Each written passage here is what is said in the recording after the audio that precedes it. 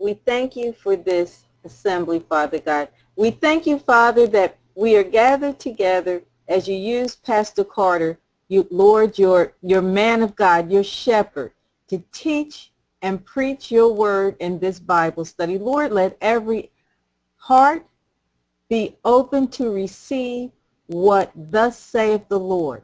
And we thank you, Lord, and we just ask that you use your facilitator mightily and bless all of us. In Jesus' name, amen. Amen. amen. Praise God. Praise God. Praise God. We'd like to ask you to, at this time, mute your phones and um, use the chat window if you're online. And if you do um, desire to speak, then unmute your phones and, and, and, and talk that way. Praise God, because we are recording. Thank God for all of our um, Bible um, companions all over the world and, and many nations who watch these uh, videos and who get them through our website and now through our YouTube channel. And we thank God that he's enlarging the territory, expanding the ministry so that people can study the Word of God. Um, God said, my people are destroyed for lack of knowledge, for lack of knowledge of me. And we want to be true. Uh, God has called me to be a Bible teacher, Bible preacher, and I want to do it well. I want to serve him well. And I thank God for each and every one of you. I thank God for you, those of you who come on regularly. You are a blessing. And for your testimonies that you send me about how you're growing and how God is using you. And I want to encourage you to keep on keeping on and let the Lord use you. This program through the Bible in one year is reaching a lot of people. I want to thank our teachers in other nations also. And uh, Elijah, we look forward to coming to uh, Mombasa, Kenya in July to graduate all of our students, um, to graduate our students in Mombasa and all of our students up north in Kitale. We won't be able to get to Kitale, but we'll bring their graduation graduation certificates. Then Elijah, you will go and, and, and hold the graduation ceremony there. But we look forward to the graduation and the ordination service in Mombasa for people who have studied for three years and have worked very hard and you've earned you've earned your degree. So we give God the praise. We give God the glory. So first Corinthians background and history. The book of first Corinthians was written by Paul around 56 AD the central message of the book is resolving doctrinal and practical church problems and growth of a church in Christ. One of our Bible students called me yesterday and said, Pastor Carter, I have a question. She said, why do the numbers decrease? Uh, she said, I'm studying, uh, she's doing independent study of through the Bible in one year. And uh, a lady from Florida. And she says, why do the numbers decrease? I said, are you talking about the years? Like uh, if David was born in 1000 AD and he died in 920 AD, she said, I'm sorry, if, if David was born in 1000 BC and died in 920 BC, she said, yes, that puzzles me. So I explained to her, and maybe some of you just don't know that, some of you just don't know that, um, uh, or may not be aware, the, the years decrease in the BC period. BC means before Christ. So if David was born in 1000 BC and died in 920 BC, that means there was an 80 year time period of decreasing uh, in on in the calendars in the years, decreasing progression. And so everything BC, you'll find that the years uh, decrease. Then AD, AD Addo uh, Domini, meaning after Christ was born, then the years progress. Um, for example, if you were born in 1960 and now it's 2017, uh, that is because we're in AD. So in BC, the years decrease. Um, it, some people say, well, how can a person live in 1000 BC and die in 920 BC? That doesn't jive. Well, we just want to take a little time out to explain that and um, thank God for that. Back to the church at Corinth. The church was established by Paul when he visited there on his second missionary journey. Paul spent 18 months in Corinth in the years uh, 50, 50 through 51 AD, 18 months. After his departure, he continued to carry on correspondence with the church in Corinth.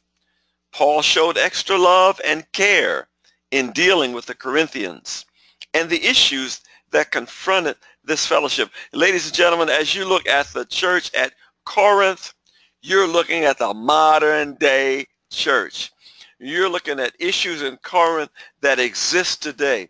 And we need to look at how the Bible uh, teaches us about the issues in the first century church, how Paul dealt with that, and uh, how we are to deal with these issues. That is why the Bible is so important. We ought to study to show ourselves approved unto God.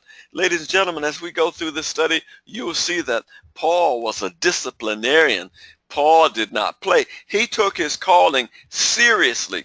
And when he ministered to people, he ministered on a very serious note.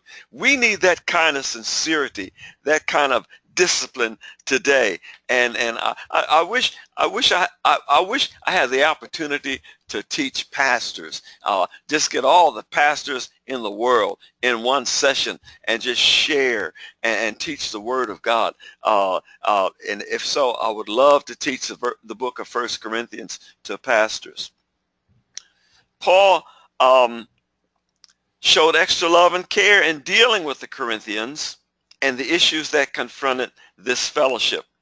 When he was on his third missionary journey and during his three-year ministry in Ephesus, he received disturbing reports concerning moral laxity among the believers at Corinth. It was on his third missionary journey that he received reports about the moral laxity in this church. In order to remedy the situation, Paul sent a letter to the church at Corinth, and we find that in 1 Corinthians 5, 9 to 11. However, this particular letter must have been lost because there's no re record of the letter that Paul sent to the Corinthians in, in dealing with the moral laxity that was taking place. Um, but we will discuss that. After the Corinthians read Paul's letter, they then sent a delegation sent by Chloe, a member of the church. They sent a dele delegation to visit Paul concerning the existence of divisive factors in the church. So Paul sent a letter to Corinth about the moral laxity, the, the, the, the immoral things that were going on in that church. That letter was lost. Uh, uh, there's no record of it. Uh, the, the Corinthians received it, but there is no record of that letter. And then after he had um, sent that letter, then he received a delegation of Corinthians, and they uh, came to him to talk about all the divisions, all the divisive factors in the church. Before Paul could write a corrective letter to the Corinthians to deal with those divisive issues, here comes another delegation of Corinthian believers, and um, they had certain questions that they had they wanted to ask Paul. They had a list of questions. So Paul, in addition to traveling as a missionary, planting churches, working as an apostle, uh, and caring for the churches, Paul had to care about the divisive issues in the churches, the moral uh, turpitude in the churches, uh, or or lack of morals in the churches, uh, the infighting, divisiveness, and um, this one man really was an amazing man of God as he uh, set things in order in many churches. We find that the book of Ephesus, Paul wrote to the Ephesians to set things in order there. And Ephesians is the book we call the Ephesians the book of church order. Paul set things in order. So if Christians today would take the time out and study the book of Corinthians, we could eliminate a lot of problems that are going on in our fellowships. There are a lot of things going on that should not be go going on. They are not biblical. They are not uh, according to the way Christ established his church. And, and uh, I blame a lot of the pastors because a lot of pastors don't teach what ought to be taught. Uh, uh most people don't want to be taught. Many Christians don't want to be taught. We've got to we've got to deal with a lot of Christians who are lazy, ladies and gentlemen. Lazy. We got all these Bibles. We have access to Bibles, but we're too lazy to read the Word of God for ourselves. But I thank God for our students, for you, in our through the Bible in one year. You work, you do your homework, you do your preparation, and and you're you're studying diligently diligently. And I want to encourage you to continue doing the same. I wish that all believers all over this nation and the nations were as diligent as you are and would study the word. And um, I know there are pastors who would get angry with me for what I've just said. They don't want anybody messing with their people. Don't mess with my folk, they say. Uh, I teach them um, and and and and, and so there we got a lot of proud pastors out there. Some can't even read. Some don't don't even know the scriptures. But they preach they put a little sermon together on saturday night and and, and people like it. And, and and and people are hung up on personalities. I mean people love their pastors now. Uh pastor can be right or wrong but i want to know can the pastor teach does the pastor teach the word of God?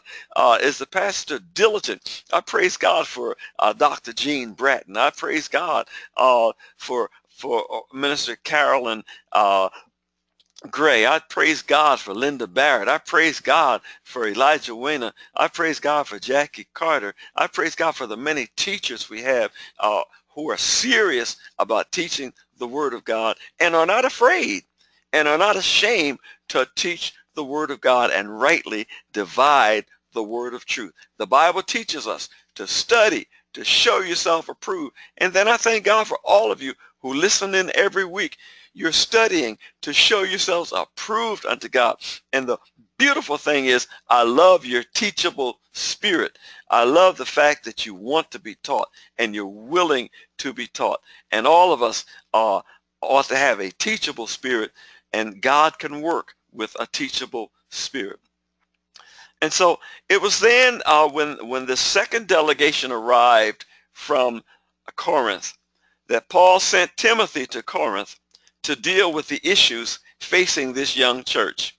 We find that in 1 Corinthians 4, 17. Then Paul wrote the letter that we are uh, now know as 1 Corinthians. So here's a scenario. Uh, Paul heard about the moral laxity of what was going on in in Corinth. Uh, and the main thing that shook Paul up was a man was having sex with his father's wife. A member of the church was having a sexual relationship with his S-mom. And, and that was going on. And the church knew about it. And, and Paul uh, was uh, particularly upset because this person was a leader in the church and was having an open sexual relationship with his father's wife in the church. And ladies and gentlemen, the church officials were not doing anything. And Paul jumped on them. Yes, S-mom means stepmom. And Paul jumped on them and said, oh, no, no, you cannot do this. You, you cannot, you must attend to this situation. You must discipline this situation. And Paul sent that letter to them. And then he uh, uh, uh, talks about it again in First Corinthians. So that letter, that disciplinary letter that is lost, long been gone, uh, uh, nobody can find it. Um, there's no copy of it. But after that letter, then a delegation came to Paul and they uh, complained to Paul about all the issues, the divisive issues going on in the church. And then before Paul could even write and respond to that, another delegation came to him uh, and uh, with a whole lot of questions about what the church, how the church ought to be run and, and what was needed in the church. So we, this first Corinthians is such a, a monumental book because it addresses a lot of the issues that uh, attacked the first century church.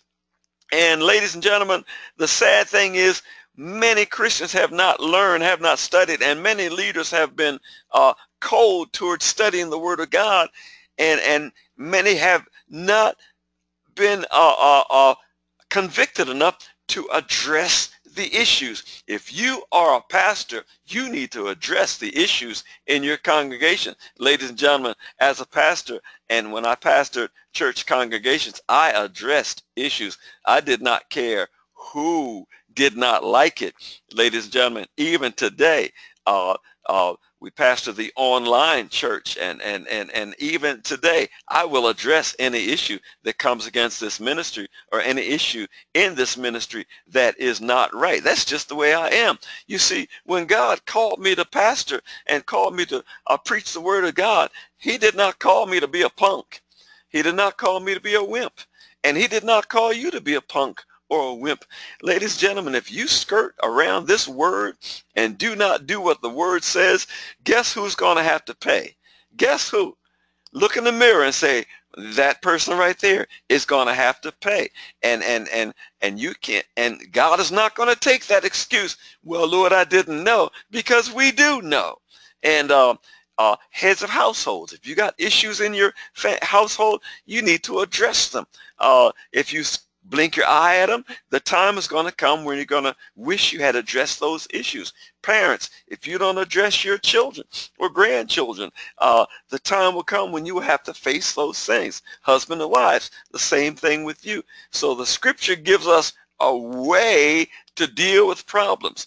And in this Corinthian church, as powerful as this church was, and as important as it was in this great city of Corinth, this great city that was the commercial center of the whole wide world, and and perhaps um, along with Athens, the religious center of the whole world, uh, Paul had to take a stand, and this church had to really take a stand to live up, up to the principles of Jesus Christ and, and for the purpose for which Jesus Christ gave his life on Calvary. So categorically, this letter is a pastoral letter, meaning that it was written to resolve doctrinal and practical matters within the church. It deals with factions in the church at that time, yet it should be applied to our times. I wonder how many of you can identify factions in your congregation. You know, people who won't speak to other people in the congregation. They won't sit on this side of the church. church. I don't uh, want to sit over there. My family members sit over there. We ain't speaking. And and and ladies and gentlemen, these factions and these divisive things uh, uh, should not be. And it's a sad pastor who plays upon the divisiveness in the church. I know there's some some of you crooked pastors out there. You love to see the drama in your church because you know how to play one group off against the other. Uh, but these things ought not to be. The church ought to be a harmonious body that flows in the love of Jesus Christ. I said the church ought to be a harmonious body that flows in the love of Jesus Christ. Paul's letter to the Corinthians reveals some of the typical Greek cultural problems of Paul's day.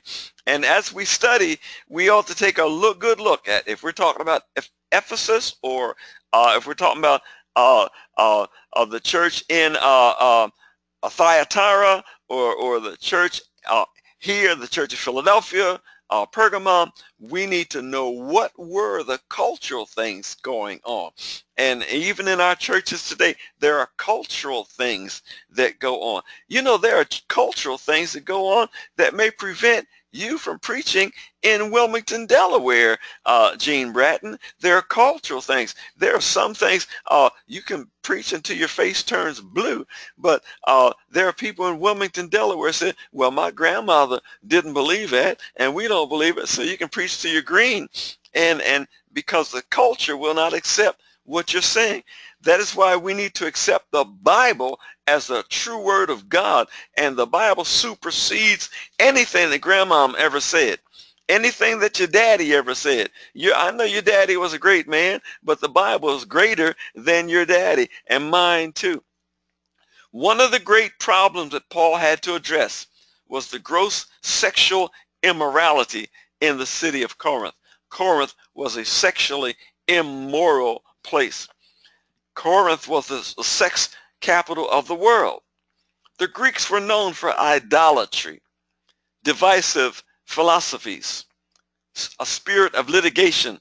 In other words, they loved lawsuits. I mean, reminds me of, uh, uh, of some areas we've seen in the USA. Love Suit City. Love Suit City. Philadelphia, man, they tell kids if a car comes close to you, fall backwards and pretend you're hurt. Even if the car doesn't hit you, fall, fall down, fall down, and and and pretend you got hurt because then people will come and, and get the address and the name of the person, the license plate, and initiate a lawsuit. Uh, one call, that's all. We got a lawyer here in Atlanta. One call, that's all. In other words, if you have a law a case, one call, that's all. 1-800, call Ken. One call, that's all. Ladies and gentlemen, you got folks, and they and they they play it to the max. They play it to the max. They could take a couple of us. I mean us, and put us on the commercial and and and I saw one guy on a commercial today. He said, "Ken got me five hundred twenty-five thousand dollars in my lawsuit." Then another lady, uh, one of us, uh, Ken got me three hundred seventy-five thousand dollars in my lawsuit. One call, that's all, ladies and gentlemen. Uh, I'm, I'm, it's kind of funny, but this is the way it was in Corinth. Also, it was lawsuit city sexual sins and uh, litigations, divisive philosophies, and uh, one call, that's all. And there was a real heavy rejection of the bodily resurrection of Christ. They rejected the, the idea that Christ rose from the dead. So the city of Corinth was one of the most important commercial cities of the day and controlled much of the shipping between the east and the west. Corinth was located on the narrow neck of land that served as a land bridge between the mainland of Greece and the Peloponnesian Peninsula. Corinth was famous for its sexuality and sacred prostitution. It was famous for sexuality and sacred prostitution. To Corinthianize was an expression that meant to practice prostitution. So if somebody was Corinthianizing, they were practicing prostitution. Men and women practice prostitution. Reminds me of Miami, Florida. Uh, you can walk the streets of Miami, Florida, be driving through Miami, Florida, and naked women and naked men will walk up to your car uh, uh, their place, New York City. They've got naked folks walking up and down the street, uh, giving out their calling cards. Ladies and gentlemen, uh, this is nothing new. It was going on in uh, Corinth. It was going on in the ancient world. It was going on uh, way back uh, before the time of Noah. And that is why God sent the flood to wash all that filthiness off the earth. Ladies and gentlemen, it's even worse now. It's even worse today. I heard somebody say, if uh, uh, uh, if God does not destroy the United States of America, he has to give an apology to Sodom and Gomorrah. I heard that, ladies and gentlemen. Or Nairobi, Kenya. If if if God does not destroy Nairobi, Kenya, uh, or Mombasa, Kenya, we've been there. We're getting ready to go back there, and there's so much sin there and wickedness. If God does not destroy these places, then He's got to apologize to Sodom and Gomorrah. And so Paul had a lot on his hands, and the church, ladies and gentlemen, the church must stand for righteousness. Even though your culture may promote uh, uh, lesbianism, same-sex marriage, uh, uh homosexuality, gambling, lust, drunkenness, uh, uh, lawsuits, even though your culture may promote that. And when we look at the United States, our culture promotes much of this and much of this is legalized. Uh, uh, marijuana is legalized. Uh, you can you can you can now buy marijuana oil and rub it on your skin and get high. Uh, you can you can sniff it, snort it. Uh, everything's legalized. Ladies and gentlemen, the culture has made so much uh, that is sin available and the government has legalized it. Yet the church needs to take a stand. But here's the problem, ladies, ladies and gentlemen. The same people who make the laws go to our churches. The same people who are uh, carrying out these laws and, and water down the laws and, and, and, and, and um, legislate things that are contrary to God's will are leaders in the churches. Uh, uh, there, uh, there, some are sitting up in pulpits. And so there's a need, ladies and gentlemen, for a worldwide revival. There's a need for worldwide repentance so we can get back to what the Bible says. I thank God for this book of First Corinthians. There were over a thousand professional prostitutes serving in the temple of Aphrodite or Venus. Uh, over a thousand professional prostitutes. Now these were male prostitutes and female prostitutes. It depended on uh, whatever person's preference was. If they wanted a man or a woman, uh, these prostitutes were there. Given this background, it is not difficult for one to imagine that the spirit of the city showed up in the church at Corinth. Consequently, this church had a lot of problems with sexual sins. The letter to the Corinthians consists of Paul's responses to 10 separate problems in the Corinthian church. Now, these are uh, the problems that Paul dealt with. A sectarian spirit, in other words, denominational, denominationalism. You know, there are denominations today.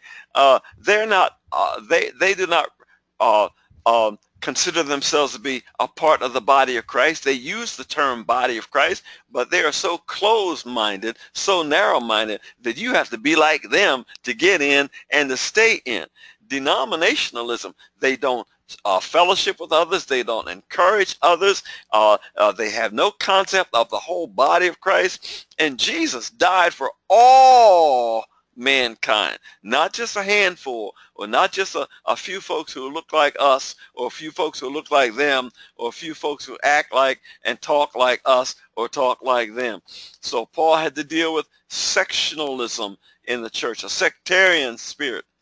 Incest Ladies and gentlemen, incest. We talked about the man who was having sex with his S-mom, his father's wife. Ladies and gentlemen, uh, the, the scriptures, the scriptures, uh, the law of Moses talked about incest. Incest. If a man has sex with his daughter, if a, a boy has sex with his mom, uh, uh any kind of incest was punishable by death, ladies and gentlemen. It was punishable by death.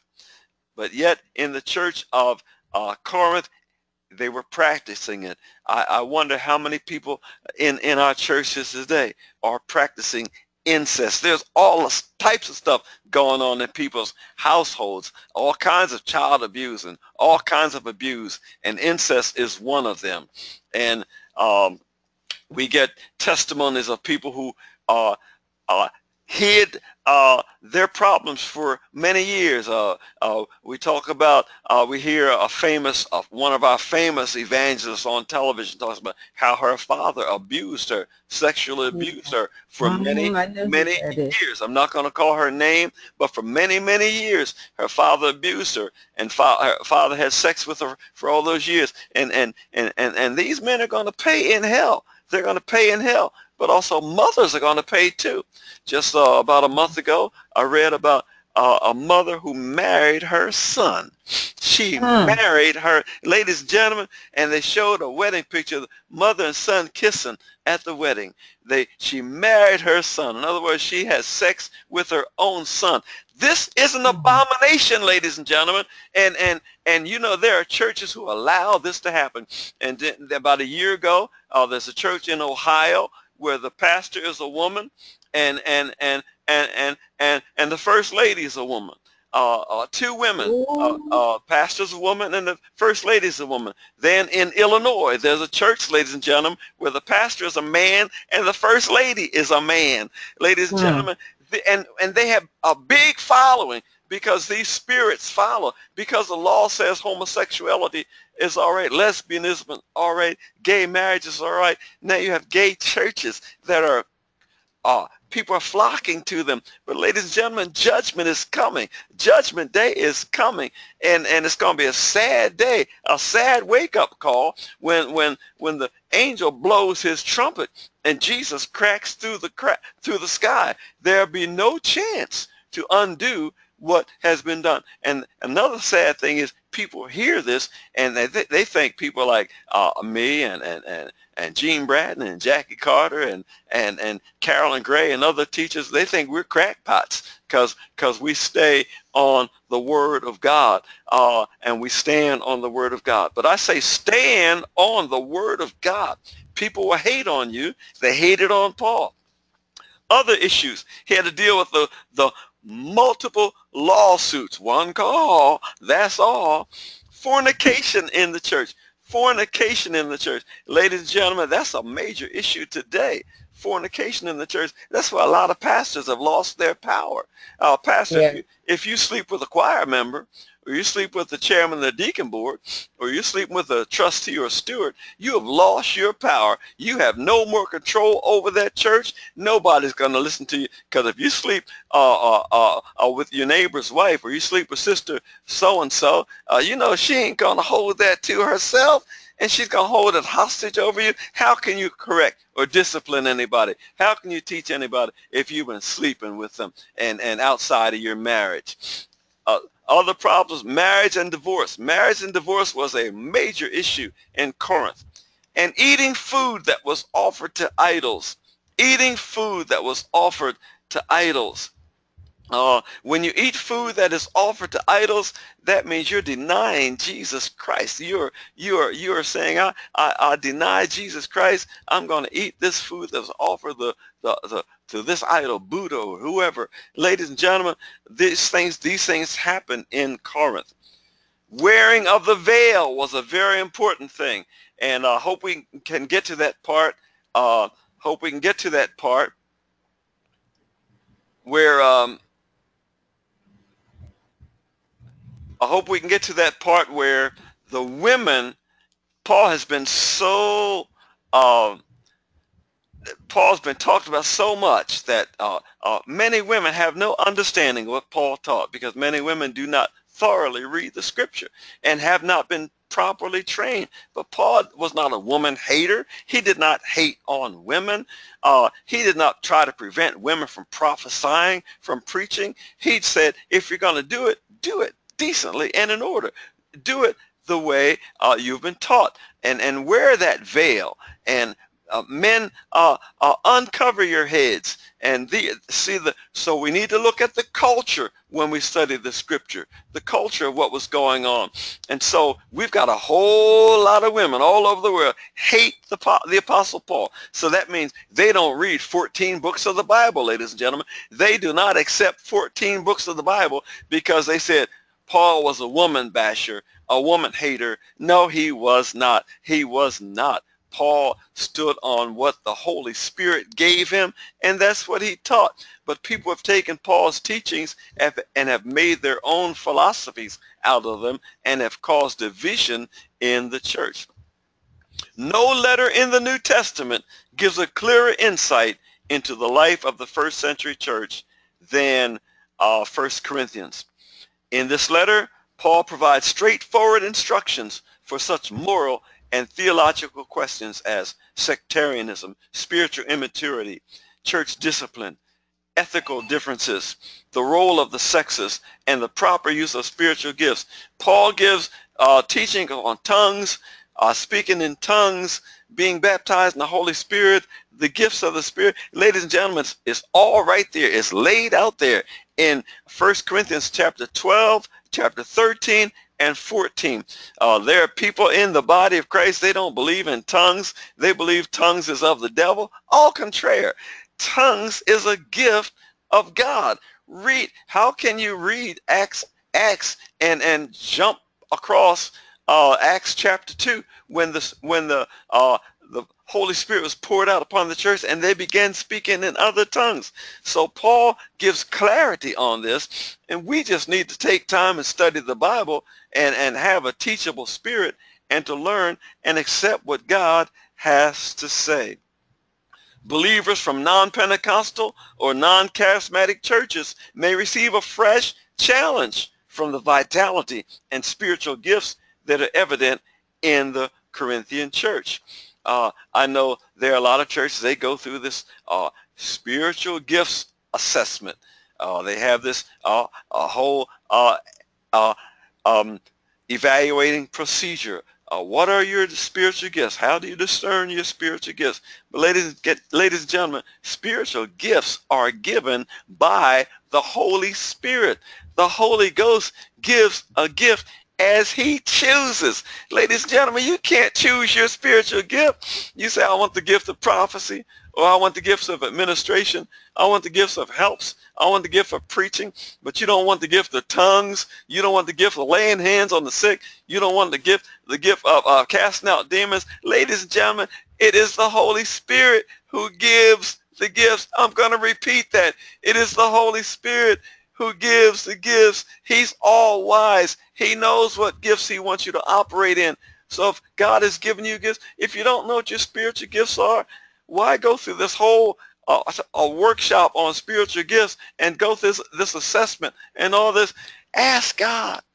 Ask God, Lord, what is my gift? And then when God reveals to you what your gift is, now Lord, show me how I ought to operate in this gift. He will teach you. He will give you the scriptures. He will show you how to operate in that. Ladies and gentlemen, and then I, I, say stay away from those folks who are so critical of spiritual gifts. I remember when I was in seminary, they used to laugh and tease the brothers who spoke in tongues and and and and and and uh, uh, prophesied and and and laid hands on the sick. But then uh, keep living, keep living. You'll get sick keep living. You'll be glad to have somebody who speaks in tongues come and lay hands. keep living. I say keep on living. You you'll be glad. And and a lot. I know a lot of people who I went to seminary with are eating humble pie. I mean, they talked about one of my friends. He was a Holy Ghost filled pastor, and I didn't even know what the Holy Ghost was basically. Uh, and they used to tease him and laugh at him, but I wouldn't laugh. And and and they talked about it like a dog.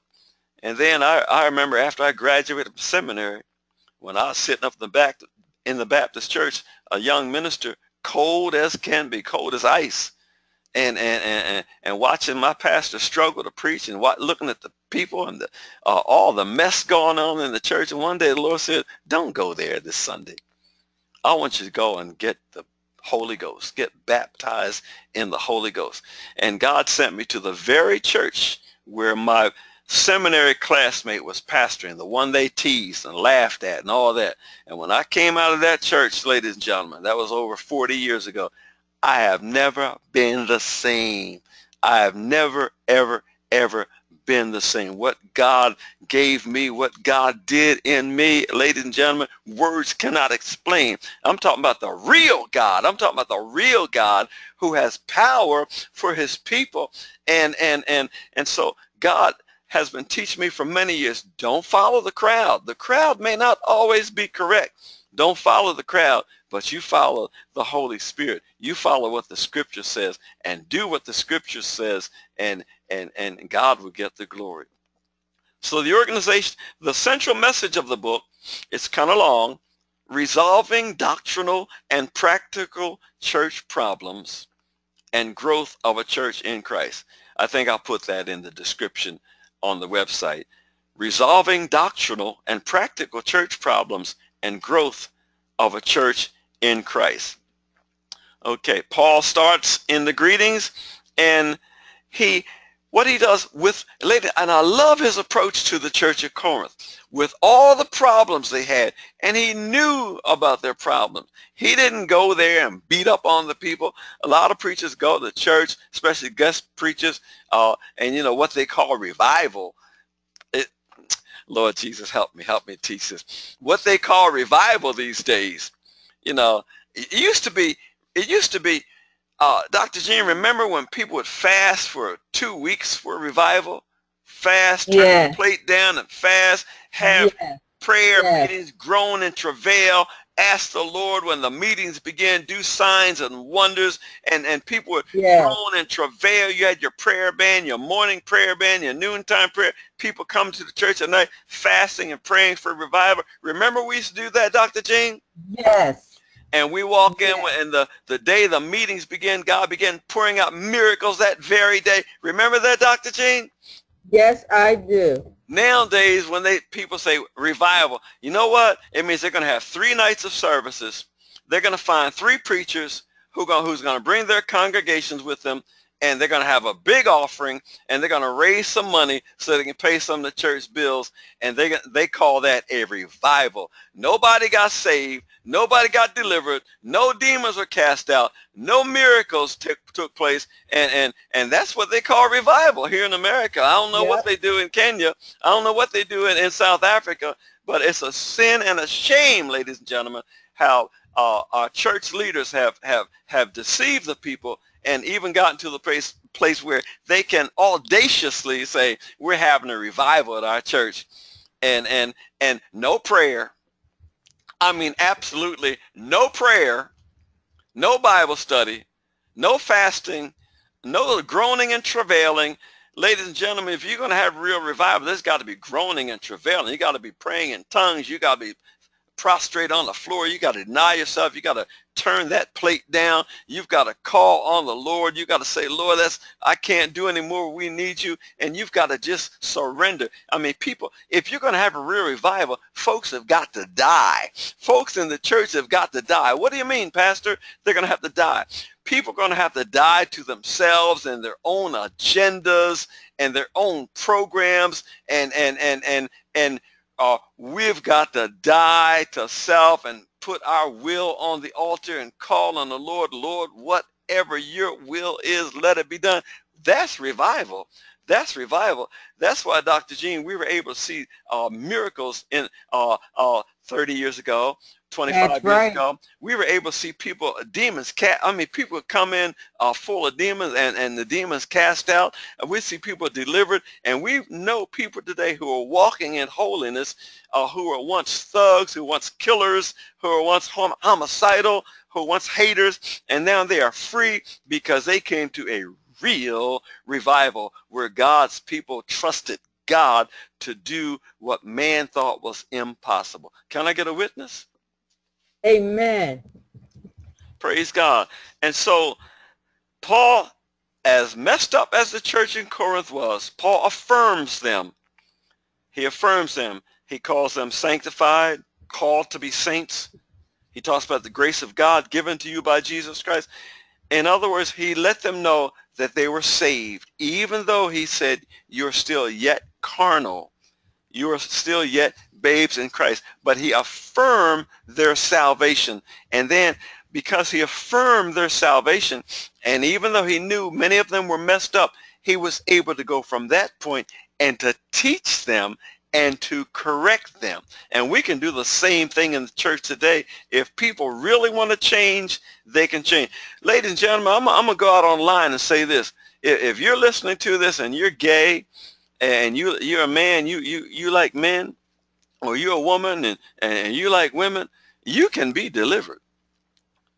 You can be delivered if you choose to be delivered.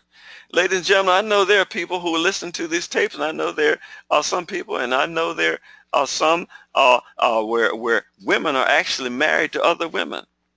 I know you love that woman, but it's it's against the word of God, and you got to get your house cleaned up, and God will show you a way if you really want to be delivered. But what happens is when we start teaching on this, people get mad at the postman. They get mad at, mad at the mail carrier. I'm the one bring. I'm just reading what's in the book. I didn't write the book. But if you really want to be delivered, if if if you're a man, and I know there are men all over the world, men they like to fondle little girls and little boys, and and and, and, some like little little uh, pre-teenage girls, and and and and, and you're, you're cheating on your wife. Or there are men who uh, uh, can't stay out of, stay out of, out of other men's uh, uh, houses. uh, men go off to work and you sneak into their houses. Ladies and gentlemen, you can be delivered from that. God wants us to live holy. And then there are some people, you, some, some people listen to this tapes, you're sexual perverts. You're perverted. You got these little toys, these little gadgets, these little instruments, these little arousal toys. You got to put that away. And then there are some of you who have idols. You worship idols. You've got idols in your heart. You've got idols in your heart. Ladies and gentlemen, uh, if a man's having sex with his wife and he's picturing some other woman, that's idolatry. Man, that's idolatry. You can be delivered. And so, uh, and, and ladies and gentlemen, I know preachers. I know preachers preaching in the pulpit ladies and gentlemen, and are going to serve communion on Sunday. Come on now. They're going to serve communion on Sunday and still got the smell of some other woman on their fingers where they were with some other mm. woman that same morning or the night before. Ladies and gentlemen, this is an abomination. We should not embarrass our Lord and Savior Jesus Christ. Well, they would hate on me uh, for preaching this, but God is holy. We're talking about holiness, holiness unto God. There are times we need to turn our plate down. We've got to sanctify ourselves get clean. We've got to pray. We've got to fast and pray. And if we know of any uncleanness in us, we've got to be delivered. Then there are people who are mean, just plain mean folks, like to be contentious, always want to argue, always want to mean. That's a that's a demon spirit. But you can get rid of it if you read First Corinthians. Ladies and gentlemen, this is a book uh, will get people uh, delivered. Well, the time is really moving fast. But Paul had to deal with contentions, sectarianism. Some said, I'm of Apollos. I'm of Paul. I'm of Cephas. I'm of Jesus. In other words, uh, Paul, Paul taught me the gospel. I got saved under Apollos. I got saved under Cephas. And they won't listen to any other preacher. Ladies and gentlemen, that should not be. God sends whoever he will to preach his word because God wants a church that's harmonious and a church that's loving, not a church that is, is sectarian or a denominational church. I, I pray for the day that denominational walls come down and there are no denominational churches and we're all part of the body of Christ. Well, praise God. In 1 Corinthians 4 1, Paul wrote that ministers of Jesus Christ are stewards of the mysteries of God. We are stewards of the mysteries of God. That is why we as ministers, teachers, uh, we need to spend much time before the Lord, even before we teach, before we preach, before we go out to lead our, our, our, our these services, even workshops, teaching experiences. We are ministers of stewards of the mysteries of God. And so we must conduct ourselves in a certain way. Certain things ought not to come out of our mouth. We should not be seen in certain places. Uh, um, our lifestyle should change. And then, ladies and gentlemen, Paul reminds us in 1 Corinthians 6, 19 and 20, we are the temple of the Holy Ghost. Ladies and gentlemen, our bodies are the temple of the Holy Ghost. That is why there there should be a way in which we should dress to come to church. I mean, I'm not talking about long skirts and having a hat on your head and all that, but there should be some standards, ladies and gentlemen. Uh, uh, uh, a woman ought not to be able, ought not to come to church with a split up her skirt and showing her coochie. Uh, I've had, uh, in the past, I've had people come to church, women come to church. I, I remember one time asking a woman to please turn that skirt around to the side and sit over on the wall because uh, uh, she was photographing every man in the church. Even me, I was looking. And, and you can't help from looking at someone with their legs wide open and a split up to the gazoo. So I had to say, no, no, no. And she got mad and went around town. Pastor Carter kicked me out of my church. He didn't like the way I dressed. No, I didn't like the way she dressed. And yeah, I did kick her out. I did tell her, you know, you can't come like this. I said, you can sit over against the wall. Next time you come, put on something decent, but you ain't coming around here like this. And so when you get bold and start telling people, no, we will not tolerate this in this church, people hate on you. They will hate on you. They will scandalize your name. But the scripture says what? Know ye not that you are the body of Christ that your body is the temple of the Holy Ghost? Know ye not that your body is the temple of the Holy Ghost, which is in you, which you have of God, and you are not your own? For ye are all bought with a price. Therefore glorify God in your body and in your spirit, which are God's. Ladies and gentlemen, the moment a person gets born again, the Holy Spirit enters into that person's life to live. That is why uh, the Bible says it's called born again. You must die. The moment you confess Jesus Christ as Savior, as Lord, you must die. You actually, literally die. You, your pride, your will, your mind, everything about you must die. And then you live again by receiving the life of Christ. There's a transfer that takes place when a person is born again. That is why we teach you can't join the church. You must be born again. We also teach you can't be born into a certain family and because you're in that family, you're a member of the church. Or you, you, uh, they sprinkle you when you're two months old and, and, and you become a member of the body of Christ. No, that is incorrect teaching. The Bible says you must be born again. You've got to repent of your sins and confess Jesus Christ and be born again. I want to uh, fast forward a little bit and um, talk about um, the, the, the covering of a woman and um, uh, a, a, a problem that has troubled a lot of women and a lot of men in the church. Um, women ought to have a veil. Women ought to have a veil.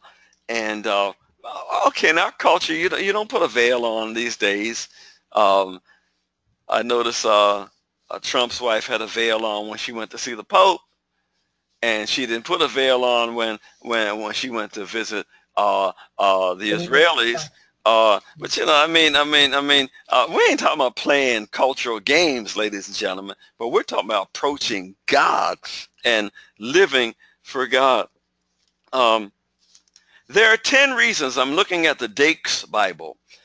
Uh, and there, Dake's, um, Finis Dakes gave some great uh, commentaries in his Bible. 10 reasons why women were to be veiled. We get away from our text just a little bit.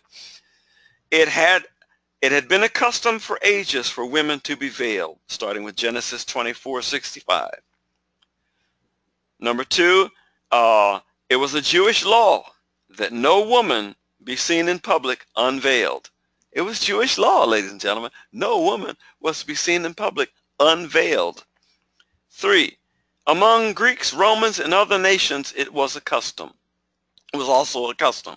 Number four, only public prostitutes in the East went without veils. Ladies and gentlemen, in the East, we're talking about in, in, in, in Jerusalem and Israel, uh, uh, only public prostitutes went without veils. Hence, to pray or prophesy without a veil would be identifying Christianity with harlotry. I believe a lot of our women need to know this. And and uh, a lot of a, a, lot of the women who say, well, uh, Paul hated women, he didn't want people to prophesy and all. I mean, let's correct the errors. Culturally, a woman who uh, went out in public without a veil was identified with being a harlot. And for a woman to stand up in church without a veil and prophesy would be to dishonor Jesus Christ. And so if a woman appeared in public without a veil, she would disgrace her head, the husband. She would disgrace her husband if she went without a veil. It would be the same as women who had their hair shaved off as punishment for whoredom and adultery. The man was not to wear a veil because he was the image and glory of God. The woman needed, needed one because she was the glory of the man being created for him. The woman needed to wear a veil on her head as a sign of her husband's power over her, thus setting an example of humility and submission to her head, the husband. You can get a, a good argument here from a whole lot of sisters uh, uh, uh, he ain't no power over me. So the man does have authority over you, lady. The man's the head of the household. Christ is the head of the man, and and and you're the head over the children. There's a line, and when that order is disrupted, there is there's confusion and there's devastation. So we need to just read this. I wish I could go over all these, but we don't have time to do this. Uh, 1 Corinthians 13, the love chapter. The love chapter. Read that love chapter. Though, I've, as, though I speak with tongues and lay hands on the sick and prophesy and have not love, I'm just a noisemaker.